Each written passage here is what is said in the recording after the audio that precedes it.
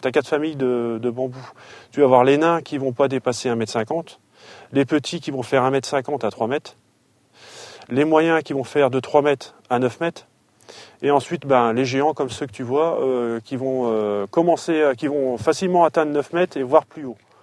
Euh, tu as 75 genres différents de bambous et tu as à peu près 1000 espèces et variétés différentes. Il faut savoir qu'un bambou, au niveau du sol, il accepte, il accepte tous les sols, sauf les extrêmes, c'est-à-dire trop desséché, trop sec, ou alors vraiment beaucoup trop humide.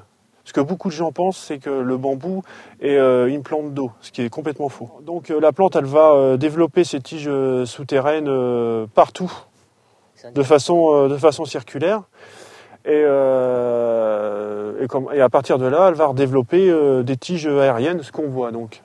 Tu vas avoir des, des, cannes beaucoup plus resserrées sur ce genre de, produit. Ça, c'est de l'Auréa flavarescence inversa, d'accord?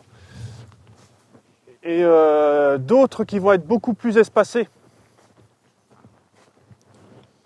comme le Philostachys virella, où lui est beaucoup plus traçant. La période la plus belle, euh, ça va être vraiment l'été, quoi.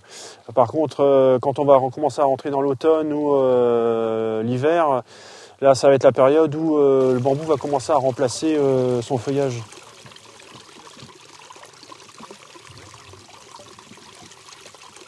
La multiplication du bambou se fait par division. Donc euh, par, euh, on arrache euh, un pied mère, si tu préfères, et on le divise complètement sur deux trois cannes. C'est d'ailleurs pour ça que bah, c'est quand même assez onéreux quand même, comme plante. Il faut, faut compter à peu près 20 euros là une vingtaine d'euros euh, le plan.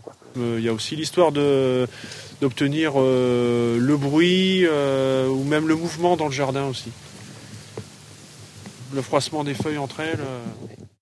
Le bambou a tendance à être un petit peu, je dirais, assez pionnier, donc il va tout de suite vouloir prendre la place. C'est un peu une, une plante invasive. Ça lui fait, c'est l'avantage l'avantage d'être vraiment d'offrir quelque chose de, très luxuriant assez rapidement, mais l'inconvénient aussi d'être un peu trop envahissant.